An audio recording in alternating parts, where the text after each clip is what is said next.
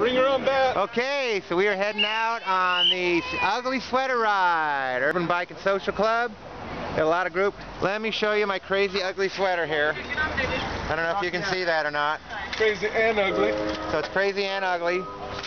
So you probably could see that. So we're heading out. We're going to ride around here in North Park. Check out the Christmas lights. Show off our ugly sweaters. And head back over here and I'll relax for a while. Talk Christmas. So let's get a shot of most everybody in the ride. Now I am riding without fenders tonight. So I got to watch out for the puddles. All right. We got a nice group, a lot of lights. See if I can catch up with them here.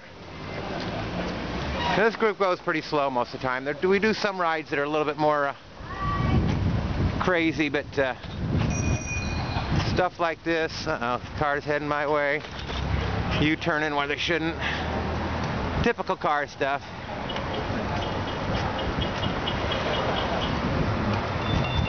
So we got lots of flashing lights, lots of ugly sweaters, good looking people, ugly sweaters. Sometimes that's the way it is. Yeah,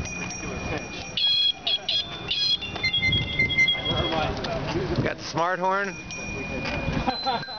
oh yeah. So let's make it up to the front.